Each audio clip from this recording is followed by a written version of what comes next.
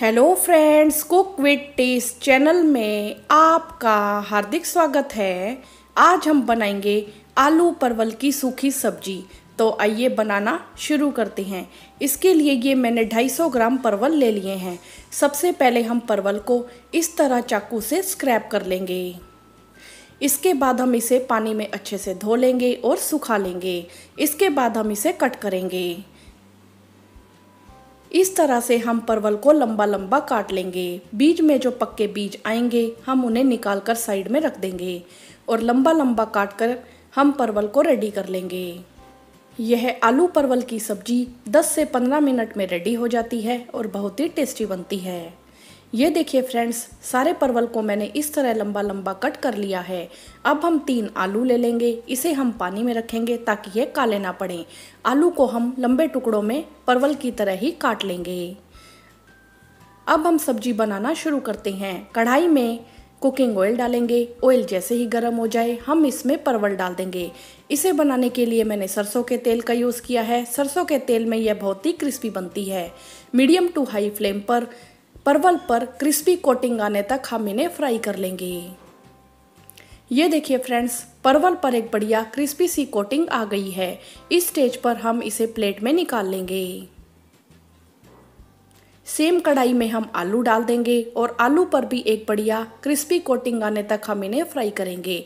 आलू पर फ्रेंड्स, जब एक बढ़िया क्रिस्पी कोटिंग आ जाती है तो ये खाने में बहुत ही टेस्टी लगते हैं। मीडियम टू हाई फ्लेम पर हम इन्हें फ्राई कर लेंगे। हम इन्हें ढक देंगे ताकि आलू हमारे कुक भी हो जाएँ। बीच बीच में हम ढक्कन को हटाकर चेक कर लेंगे और इसे अलटते पलटते हुए हम सेक लेंगे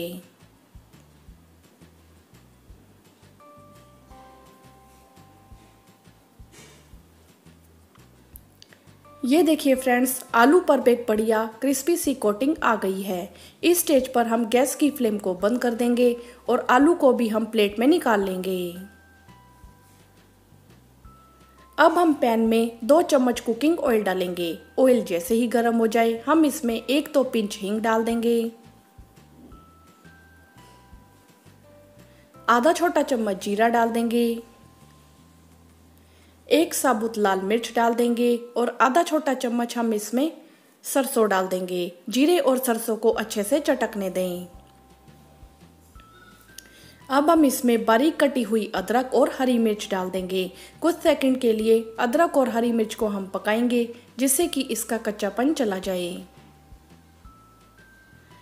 अब हम इसमें अपने आलू और परवल डाल देंगे। मिक्स कर देंगे।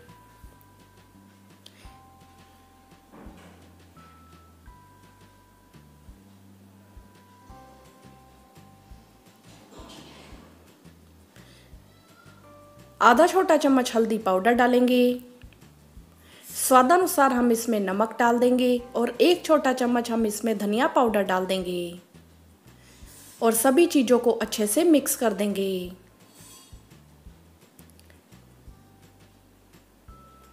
अब गैस की फ्लेम को लो कर देंगे। परवल और आलू के अच्छे से कुक हो जाने तक हम इसे ढककर लो फ्लेम पर पका लेंगे।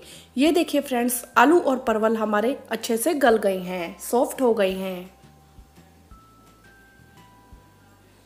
अब हम इसमें बाकी के मसाले डालेंगे। आधा छोटा चम्मच लाल मिर्च पाउडर डाल देंगे। आधा छोटा चम्मच हम इसमें अमचूर पाउडर डाल देंगे। अमचूर पाउडर डालने से सब्ज़ी में टेस्ट बहुत ही बढ़ जाता है। आधा छोटा चम्मच गरम मसाला डाल देंगे और बारीक कटा हुआ हरा धनिया डाल देंगे।